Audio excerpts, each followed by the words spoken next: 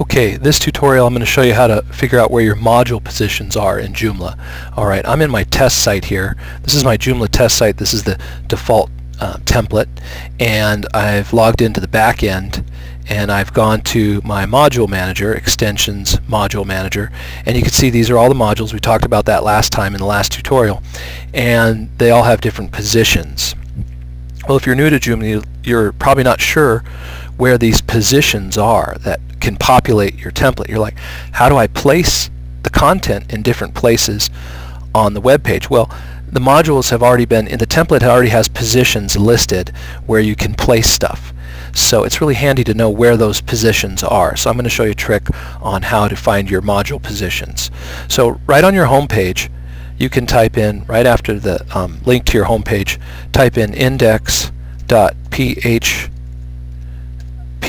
index.php question mark. And if you hit enter, you'll see that's also your home page.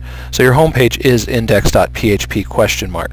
And then after that question mark, type in tp equals 1 and hit return and you'll see that now all the module positions you can see them right there on your home page and I can see right now that the top position is up here at the top right here in the banner the header I've got user 3 position is where this menu is that's at the top here.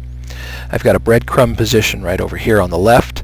Underneath it is the left column, which is the left position. And you can see I have more than one module in the left position. And then you can stack those. So this one's on top of this one's on top of this one. So the order they're in will matter as to who goes on top.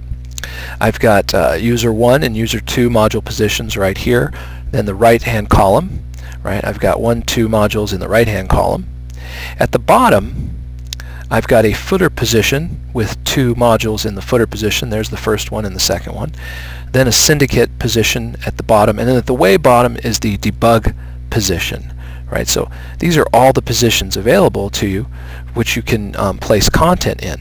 And you'll notice that the only content on the site that doesn't have a, uh, a position is in the in the center, which is our main component, which is this front page component, which has a uh, has news articles basically has articles that have been written, and you can see you've got one, two, three, four, five articles being displayed in the main component in the body, and then at the top left the um, this Joomla logo is not in a module position.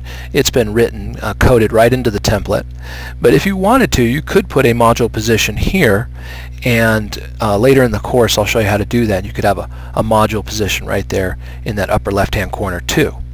Alright, and this is going to be really handy when you're first looking at different templates and uh, for Joomla and trying to organize your content and move your content around and make your site look good. It really helps to know where these module positions are. So once again just type in index.php question mark tp equals 1 and you'll be able to see your module positions.